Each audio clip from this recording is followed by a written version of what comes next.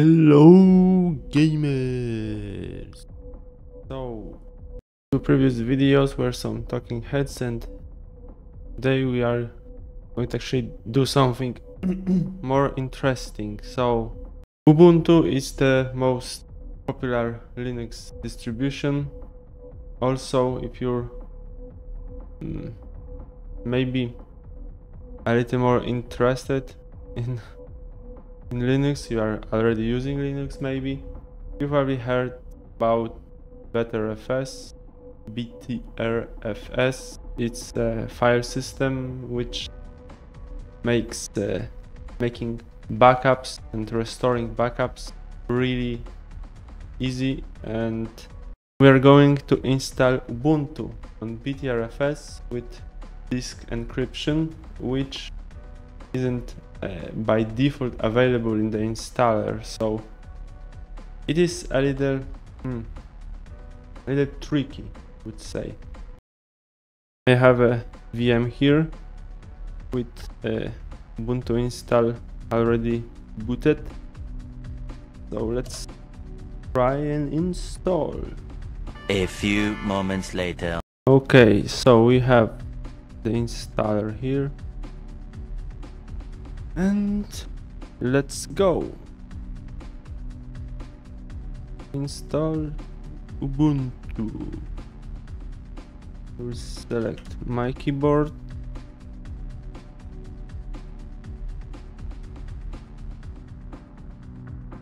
And hmm, actually want to use this VM later.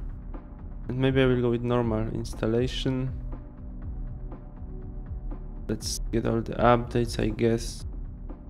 And I don't know if it's even needed in the VM but whatever let's go. So the moment that is interesting for us here is this. So uh, installation type but actually just you select what how the disk will be partitioned. So as you can see, uh, the default installer installation type, now using whole disk, offers only. You can use ZFS or you can use pretty much uh, ext4 with encryption. I was testing this one it it didn't really work but i wasn't using actually the normal ubuntu iso so it might have been some other problem. What we are going to do is something else. So let's continue here. And we have a empty drive. Nothing here. Of course if you had something here earlier you should have backed up this before going there. And now we will just create a new partition table. I guess Ubuntu just uh, detects what what type of boot is going on here. If it's MBR then it will by default give you MBR here. DOS partition table I guess. But we are uh, we have EU EFI here. So we're going with GPT and we need to create EFI partition, which I'm not entirely sure how big it should be, but I guess it will be enough, probably much over enough, but I believe I, I one, one time I had uh, uh, 256 megs and some installer was actually mm, complaining about it and it's too small. So let's go with that. And use as EFI system partition. And it's all we need to do here. We don't take the mount point not anything. So here is the more this a little confusing part let's say because ubuntu doesn't support full disk encryption. So we need to create a separate partition for boot. And I could actually create this as ext, but since we are going with better FS, I will just do it everywhere. So hmm, let's do this. It's probably a little big, but you know, better have you know some one or two gigs to match than uh, running out of uh, space on boot partition while upgrading kernel or something yeah? It will be boot okay. And here begins real fun. So here we're using the rest and you know. Logically you would think okay I need to get better FS and I don't know tick something that I want to be encrypted. This is how the Calamares installer works with pretty much any uh, distribution using uh, allowing this encryption which is probably the most of them. So we select physical volume for encryption here. Put the password I mean passphrase or security key for the for the disk right you might also want to enable recovery key. So it is created and it is saved on the live system. So you would need another USB drive USB key to copy it before re rebooting rebooting into new installed system. So but you can just remember your passphrase yeah but maybe it's not uh, that bad idea to have this recovery key somewhere. Maybe I will show you. Okay, so you might also want to override the empty disk space for added security, I guess. But it is uh, a blank uh, virtual disk, so no need to do that. Okay, let's go. And there's even more confusing part. We have this partition, right? But see, it's doing something. And here's the actual partition, which will be, we need to set to root partition, but also here, change and we can select any I mean, hmm, maybe not actually any, but this bit of bet, Btrfs. I guess XFS is also okay, but we're going with better FS for reasons I explained, right? We want some features here.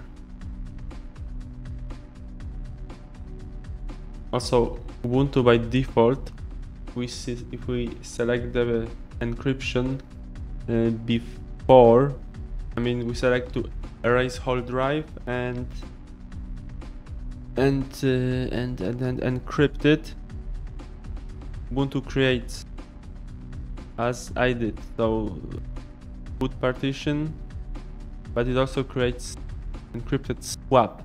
But I have no fucking idea how would I create encrypted swap partition here. So I will show you how to create a swap file after we, we installed it and I guess it's maybe even better solution because you know it's more flexible so you can create bigger swap file or make it smaller if you don't need that much and uh, resizing partitions is not a good time usually. I mean, usually it's okay, but more of a mm, pain Okay, so do we have everything? I guess yes. So we install now. Blah, blah, blah. We destroy our data. Okay, anyway, let's go. Yeah. Now we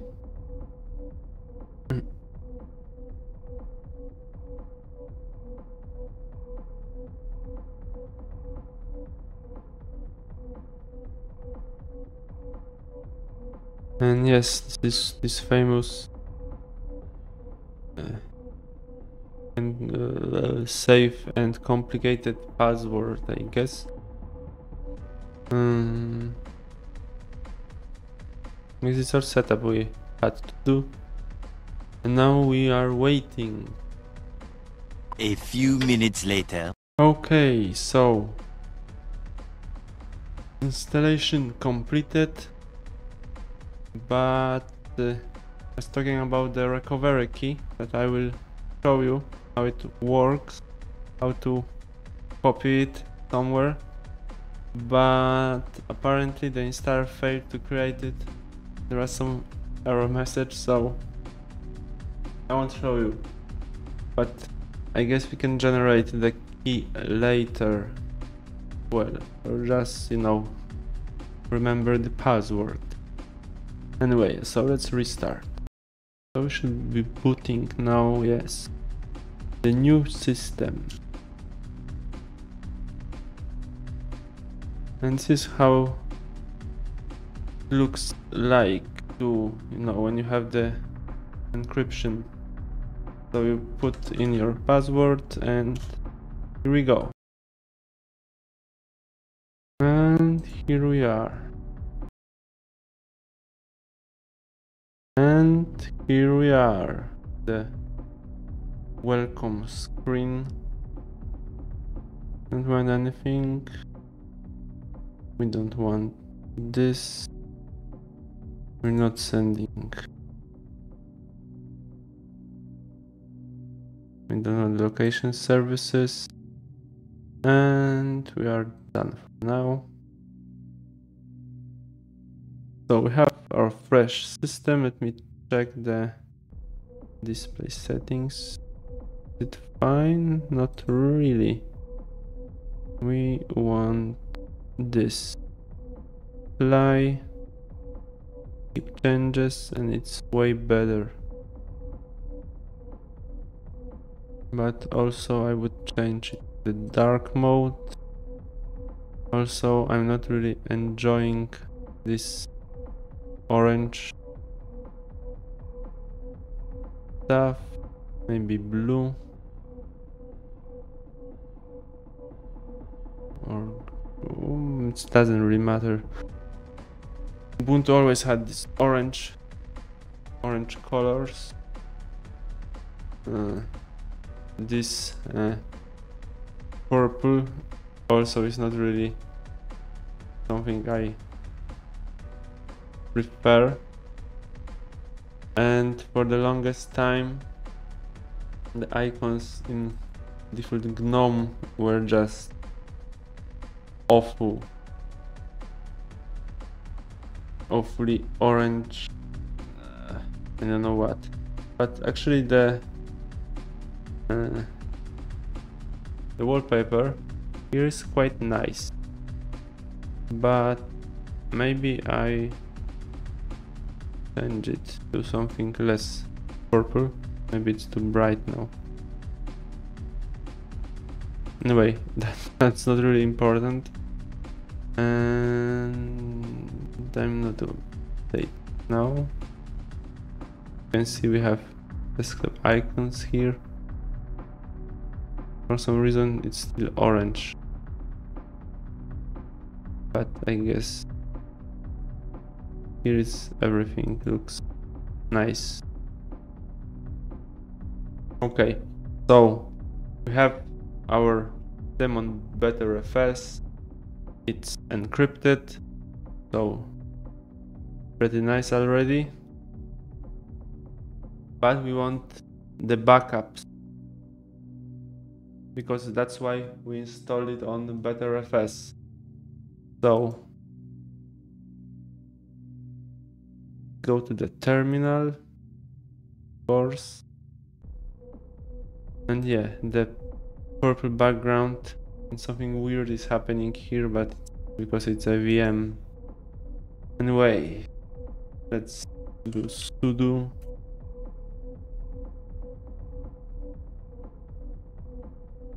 update. I don't really sure if I need to run this before. Oh, oh yeah. Putting my my password from the host. and we want to install time shift if I can type. What the fuck I'm doing? Time shift and sudo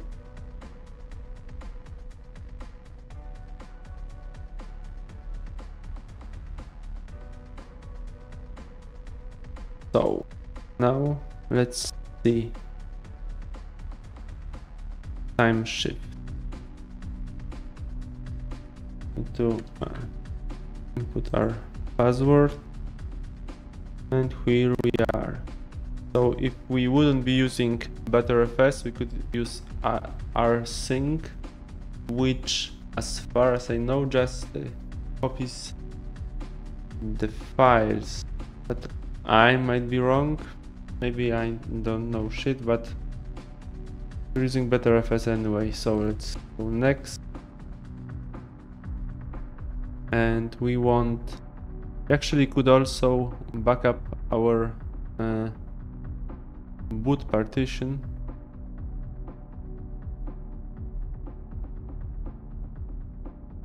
Uh,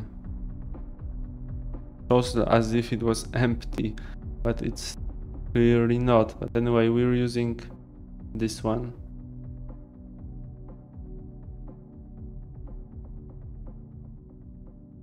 we want daily.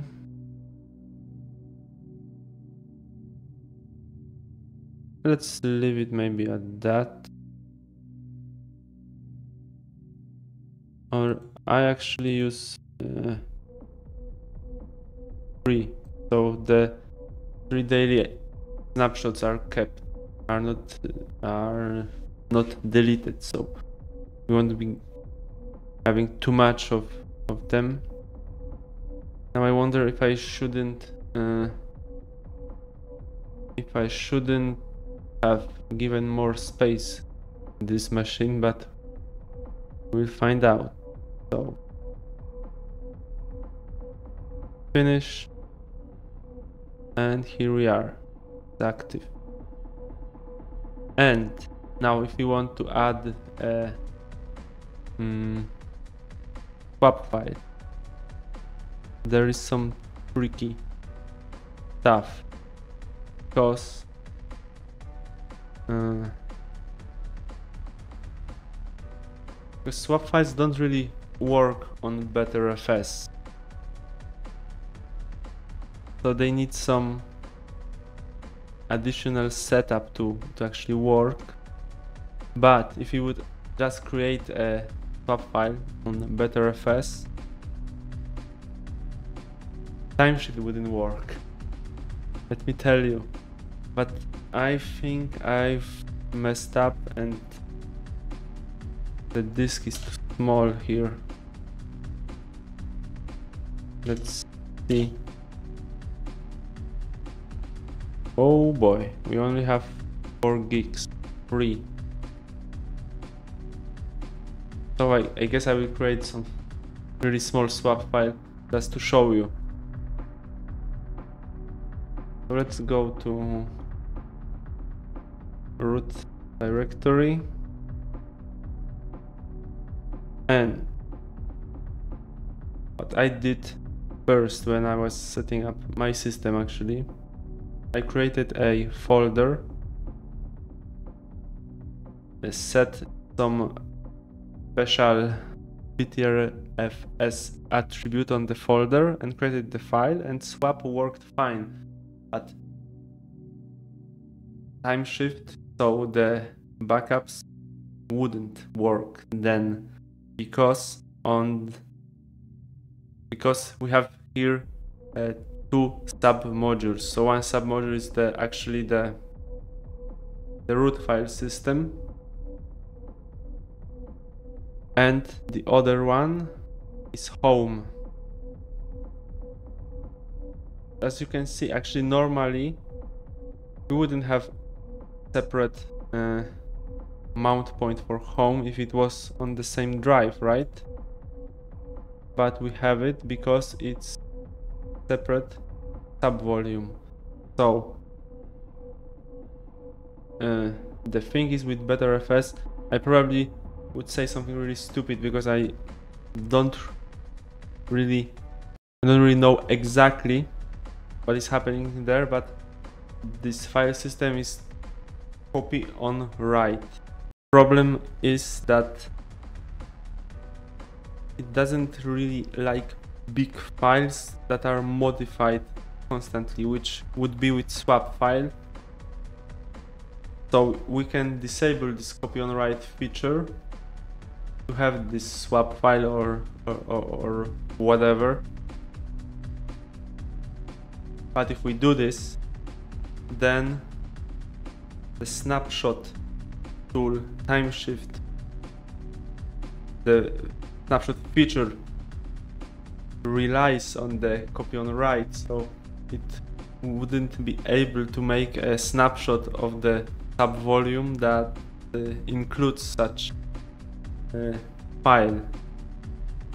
So what we need to do I will just become root. So what we need to do is to better best if I'm right sub volume create swap we created a sub volume which is actually a directory here. As you can see swap. So now we will use this. I guess it's change attribute chattr plus c and swap. And this way we actually change that this subvolume doesn't have the copy on write but since it's separate subvolume and we are only snapshotting the root subvolume so no not also not home directory so we're also not snapshotting the swap. So we can change here and it's fine. Now let's create the swap file. Uh, okay let's do it like this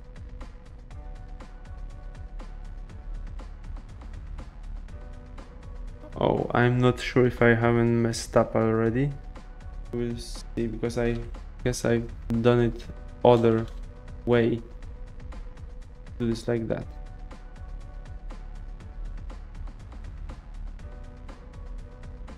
We need to change the um, permissions. Make it into swap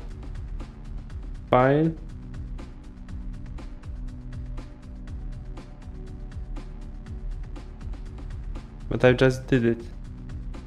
Okay I did it wrong apparently. So now we have it and let's try if it works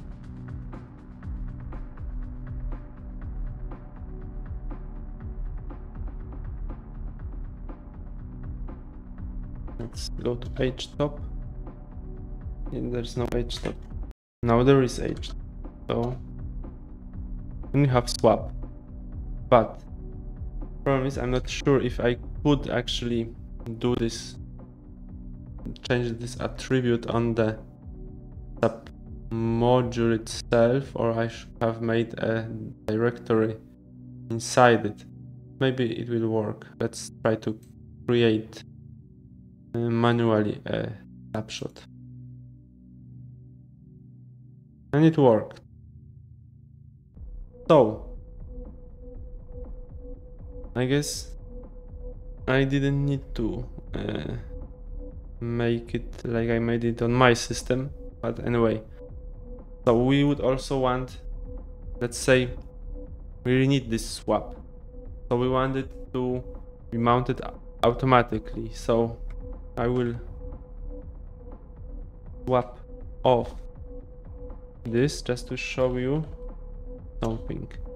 So now I will edit the first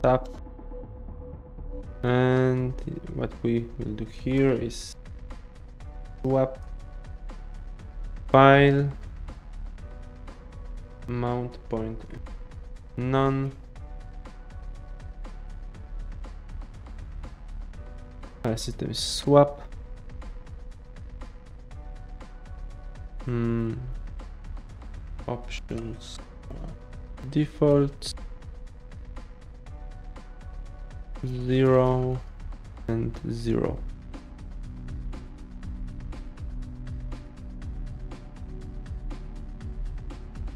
And let's see. We the, the swaps. So there's zero. So no swap. Now we'll do swap on dash a so it should activate all swap. So if we done everything right there it is. I guess we succeeded. So this is how you make Ubuntu with Btrfs, with timeshift, with disk encryption and with swap in file.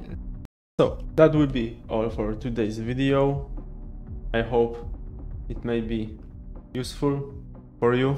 And I actually want to make quite a few videos like that with Ubuntu because no, it's most popular I guess and it's most easy to install to use for new users and I originally wanted to talk about Slackware, showing some Slackware installation and I realized that uh, maybe it's not the best first uh, Linux tutorial to put on a channel. So decided to make this. So it's like two in one because it's Btrfs with uh, with the time shift which very useful. Something goes wrong but Ubuntu is quite stable so it shouldn't really be the case but you never know. And also the disk encryption with Btrfs because Ubuntu by default doesn't support encryption other than on ext4 which doesn't give us snapshots feature. And with ZFS which I don't really test it so I cannot tell if it really works and what it offers but it doesn't offer better FS which is the big hype now. And for a reason I must say because I've started using better FS pretty much everywhere.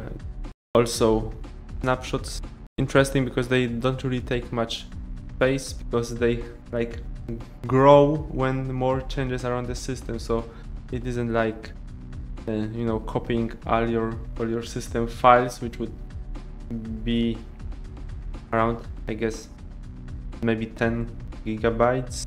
You have a lot of stuff installed because you don't uh, backup home. So you most of the files you have in home. So it isn't backed up by by uh, time shift unless you want it to anyway that's all for today's video. Thank you for watching and see you in the next one. Bye